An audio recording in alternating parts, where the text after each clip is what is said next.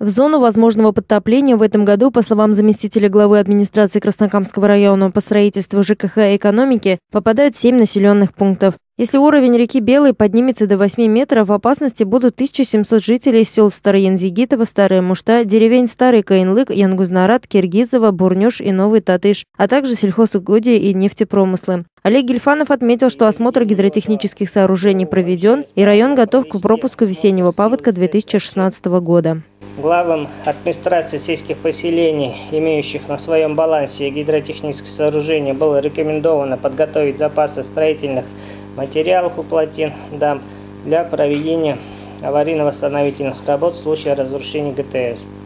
Также осуществить комплекс э, мероприятий, направленных на уменьшение ущерба гидротехническим сооружениям. На территории района будет организовано дежурство. Предварительно была названа дата с 11 апреля по 13 мая. Но глава района Разив Гельмулин попросил пересмотреть дату и рейдовые мероприятия начать раньше, поскольку на паводковую ситуацию могут повлиять дожди, которые идут в эти дни. Также в сельских поселениях будут организованы гидропосты для замера уровня воды в реках Кама и Белая и информирование населения о ситуации, в том числе через громкоговорители. Для ликвидации возможных ЧС в бюджете района зарезервирован 1 миллион рублей. С докладом о планах ликвидации аварий на гидротехнических сооружениях выступил и мастер учреждения по эксплуатации водохозяйственных объектов и сооружения реки Белой. Семь населенных пунктов с количеством населения, как уже было сказано, более 1760 человек в расположении на этой территории объектами экономики, коммуникациями, автодороги, объекты нефтедобычи.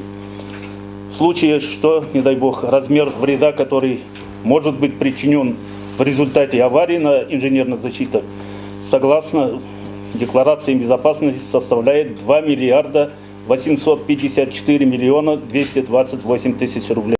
Мирдалив Тухбатулин отметил, что специалисты организации проводят ежедневный мониторинг за состоянием всех сооружений, делают замеры уровня воды, толщины льда и снега. С 1 апреля запустят в работу часть насосов для защиты подведомственной территории. В целом, службы и предприятия района готовы к пропуску весенних вод. Главам сельских поселений было рекомендовано осмотреть мосты, где это необходимо очистить опоры от мусора и льда.